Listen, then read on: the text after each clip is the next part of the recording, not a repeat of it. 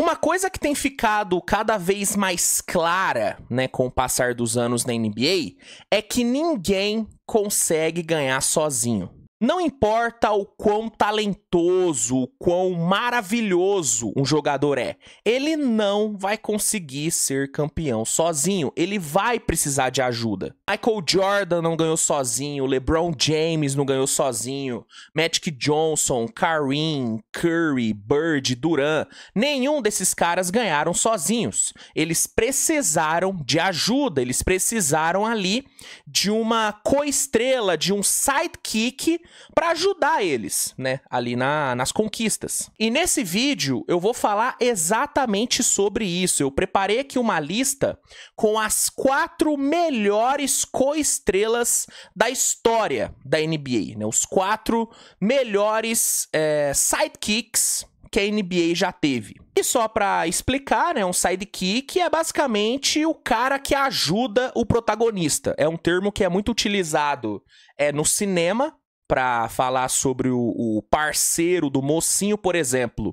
O Robin, o Robin era era barra é o sidekick do Batman, entendeu? Então, só para explicar, quando eu falar sobre sidekick, eu tô falando sobre isso, sobre o cara que é parceiro do protagonista. E nesse vídeo eu irei falar sobre os quatro melhores que a gente teve na NBA, na minha opinião, né?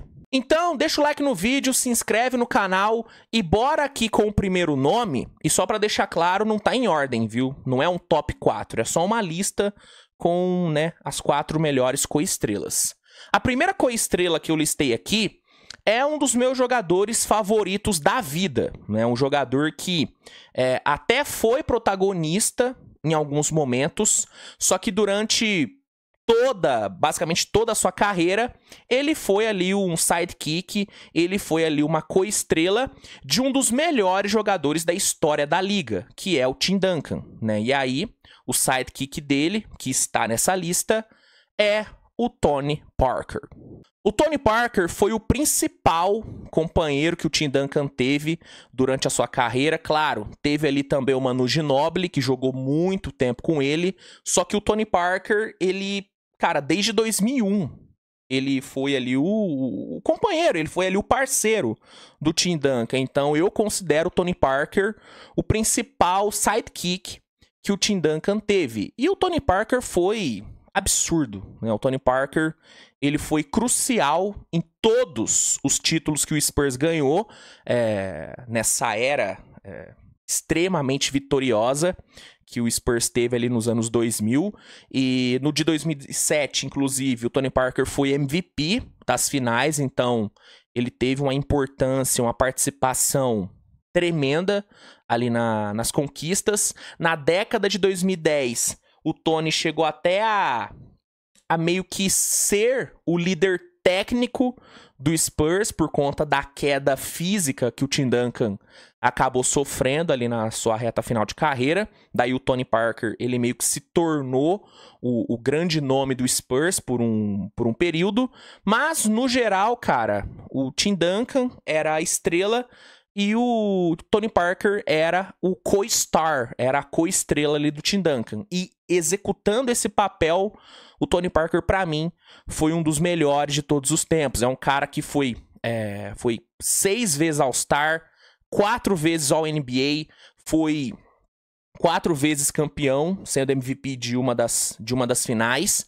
E por isso que eu coloco ele nessa lista de melhores sidekicks de todos os tempos. Seguindo, vamos aqui para o segundo nome, que é uma das melhores coestrelas da atualidade. Né? Um cara que até tentou deixar de ser uma coestrela, tentou ali é, ser protagonista, só que acabou não dando muito certo. Ele não deu certo como protagonista, mas como coestrela, como sidekick, ele foi e é fantástico. Tô falando do Kyrie Irving. Quando o Kyrie Irving foi draftado lá em 2011, a expectativa era que ele assumisse o posto de dono do Cleveland Cavaliers, um posto que foi deixado pelo LeBron quando ele foi ali pro, pro Miami Heat.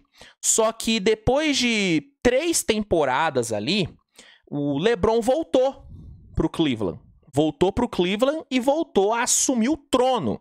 Né, voltou a ser o rei do Cavaliers. E aí, o Kyrie Irving, que vinha sendo preparado para ser o novo rei de Cleveland, acabou né, tendo que assumir um papel é, mais secundário ali no time. Só que é, é, é, é errado dizer que o papel dele foi secundário, porque o Curry, ele meio que foi o, braço direito do LeBron, ele foi o complemento perfeito é, do LeBron ali no Cavs. É, os dois funcionaram muito bem juntos, tanto que ali no título de 2016, o Kyrie Irving ele teve uma, um grau de importância tão grande quanto o LeBron.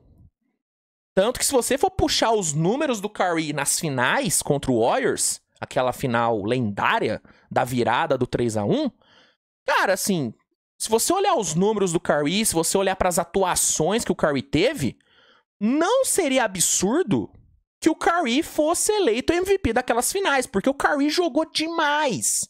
Jogou demais, teve atuações brilhantes, foi ele que matou a bola da vitória. É que a galera esquece, né? A galera lembra muito do bloco do LeBron Nigodala. Só que a bola da vitória, a bola que, que deu o título pro Cavaliers, que, que, que finalizou ali a maior virada da história das finais, essa bola quem matou foi o Curry. Então, o Curry, ele foi tão importante quanto o LeBron. É que o LeBron, é, até pela parte defensiva, o LeBron ele foi muito gigante naquelas finais. E ele era o grande nome daquelas finais, né? A narrativa era toda voltada pro LeBron dar ali o primeiro título pro Cleveland, cumprir a promessa que ele fez quando saiu, então o LeBron ele ganhou aquele MVP das finais, merecido pra caramba. Só que se o Curry tivesse ganhado, também não seria não seria injusto, porque ele realmente foi foi fantástico.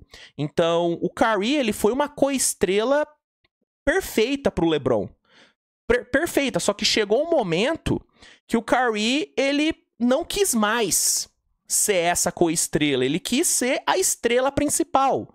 Ele quis capitanear um projeto. E aí foi quando ele foi trocado ali, ali para o Celtics para tentar ser o cara daquele Celtics que estava se formando ali com o Teita, com o Jalen Brown, com o Marcus Smart. Então o Curry, ele deixou esse posto de coestrela para tentar ser protagonista. Não deu certo. a gente sabe que é, a passagem do Curry pelo Celtics não foi bem sucedida, tanto que até hoje os torcedores de Boston odeiam o Kyrie Irving. O Kyrie, é, ele tranquilamente é um dos jogadores mais odiados pela torcida do Celtics. É, porque ele não deu certo, foi um desastre, fez um monte de merda por lá também, prometeu coisas pra torcida e acabou fazendo o contrário, né? Pô, o Curry, ele prometeu que ia renovar com o Celtics, ele prometeu no TD Garden, microfone na mão, e aí chega off-season e ele vai pro, pro Brooklyn. Entendeu? Então, é, o Curry não deu certo como protagonista no, no Celtics, também não deu certo como um dos protagonistas no Brooklyn. Ele chegou lá no Brooklyn para ser meio que também o líder daquele projeto e foi um desastre. E aí o Curry voltou pro posto que ele melhor funcionou na carreira, que foi como coestrela. Só que dessa vez ele se tornou coestrela do Luca Doncic e tem dado muito certo. Né? O Curry ao lado do Luca é, fizeram a temporada passada fantástica e colocaram o Dallas é, de volta nas finais depois de 12, 13 anos. Assim, os dois foram muito bem, foram absurdos e, te, e, e nessa próxima temporada essa dupla tende de novo a ser uma dupla muito bem sucedida. E, e para mim, esse é o posto que o Curry tem que ocupar até o fim da carreira. O Curry, e isso não é demérito nenhum, mas assim, o Curry, ele não nasceu para ser líder de projeto. Ele não nasceu para ser a estrela principal. O melhor Curry Irving é sendo ali a co-estrela de alguém. E tá tudo bem, nem todo mundo precisa ser o LeBron, nem todo mundo precisa ser o Jordan. Tá tudo bem você ser uma co-estrela. E o Curry é muito bom executando esse papel. Tanto que, para mim, ele é um dos melhores da história sendo esse sidekick. Por isso que eu coloco ele aqui nessa lista. Estamos falando de um cara que foi campeão, que, que chegou em quatro finais, chegou em três pelo Cavs, né? 15, 16, 17 e chegou nas finais pelo, pelo Dallas. Então é um cara que chegou em quatro finais, ganhou um título. É um cara múltiplas vezes All-Star, múltiplas vezes All-NBA. É um jogador espetacular e que tá ainda em atividade e pode tornar esse currículo dele, que é muito bom, ainda melhor. Então, é, Kyrie Irving, para mim, é um dos melhores sidekicks de todos os tempos. É um cara absurdo executando este papel. Vamos lá, terceiro e penúltimo nome dessa minha lista é um cara que fez parte de uma das duplas mais marcantes dessa história recente da NBA. É uma dupla que ganhou quatro títulos e que foi o símbolo de uma das maiores dinastias da história da NBA. Tô falando dos Splash Brothers. Nessa dupla, o Stephen Curry era o grande protagonista, era a estrela principal, e o Klay Thompson era a sua co-estrela, que também brilhava em diversos momentos, né? O Klay, ele... E assim, é muito louco, né? E que a gente tem que falar dos Splash Brothers no passado, né? É louco isso, né? Ainda tô tendo uma uma certa dificuldade encarar essa realidade. Que os Splash Brothers acabaram. É muito doido isso, né? É muito doido. Mas enfim. É, seguindo, né? O Clay Thompson, ele é um cara que. A gente fala muito do quão revolucionário o Curry foi. Por conta das bolas G3 e tudo, da revolução que ele causou no esporte. Para mim, o Curry é um dos jogadores mais revolucionários da história da NBA. É um cara que mudou o esporte. Só que o Clay Thompson, ele também tem muito mérito nisso. Ele, ele merece muito crédito por essa revolução. Né? O Clay Thompson, ele já se consolidou como um dos melhores arremessadores da história da liga. E é um jogador que detém alguns recordes impressionantes. Né? Eu separei só alguns aqui para passar para vocês. Ó, o Clay, ele é o segundo jogador na história da NBA que mais matou bola de três nos playoffs e nas finais. Ele é o segundo. Sabe quem tá na frente dele? O Stephen Curry o Stephen Curry. Então, ele é o segundo com mais bolas de três em playoff e em finais. Ele é até hoje o jogador que precisou de menos tempo para marcar 60 pontos em um jogo. Ele marcou 60 em 29 minutos contra o Pacers lá em 2016, uma coisa surreal, surreal. O cara marcou 60 pontos em menos de 30 minutos. É uma coisa bizarra que dificilmente vai se repetir.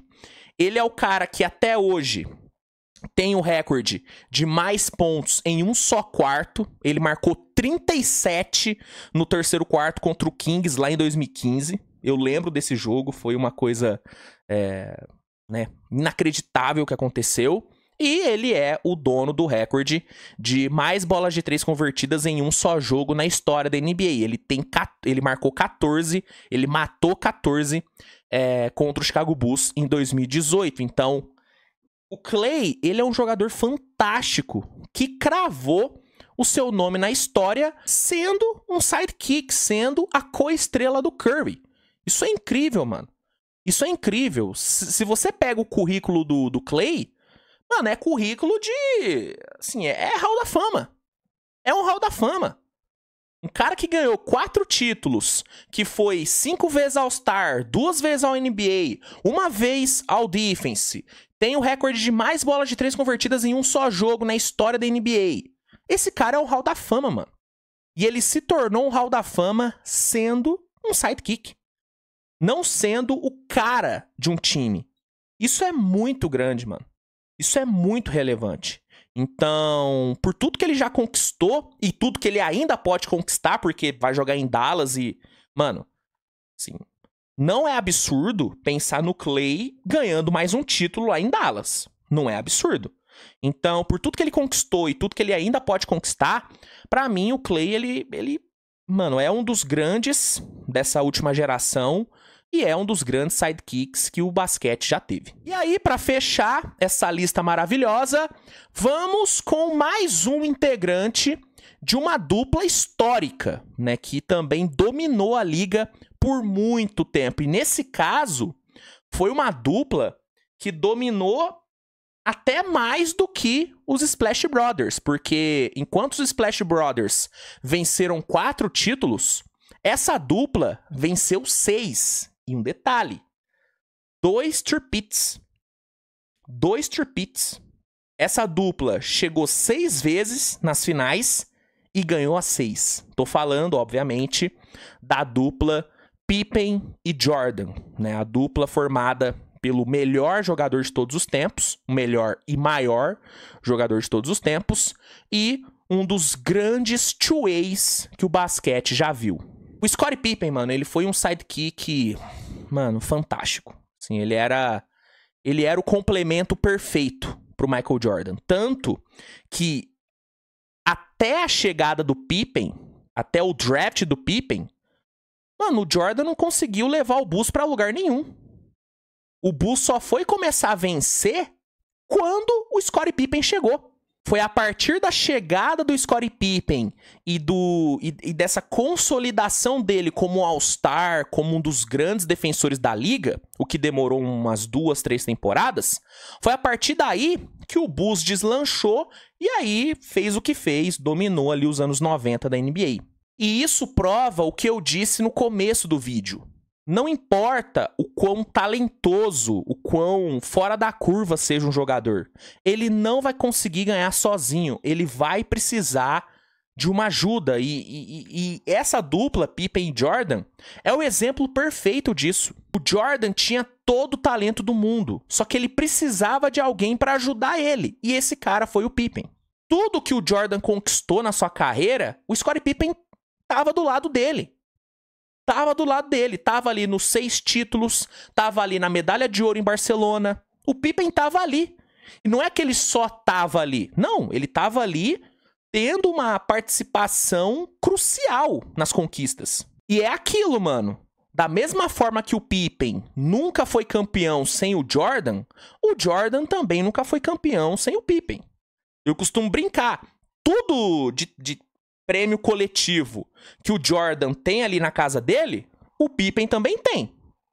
O Pippen também tem. Então, os dois eles foram absurdamente vencedores juntos. Eles foram impressionantes. Individualmente, eles eram muito bons, né? O Jordan, Gold e o Pippen.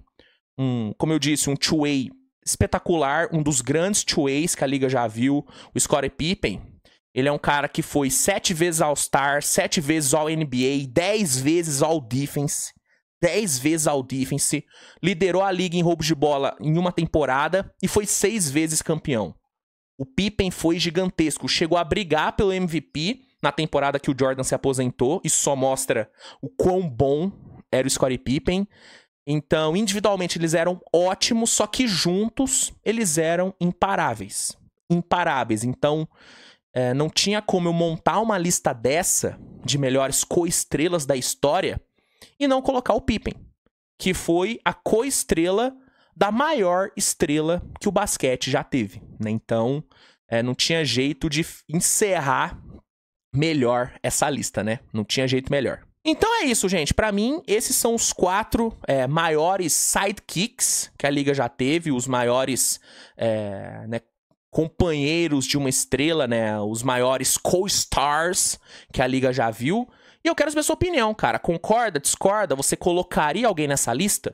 Manda aí nos comentários. Se gostou, deixa o like, se inscreve. E é isso, né? Nos vemos mais tarde com mais conteúdo. Um grande abraço e tchau, tchau.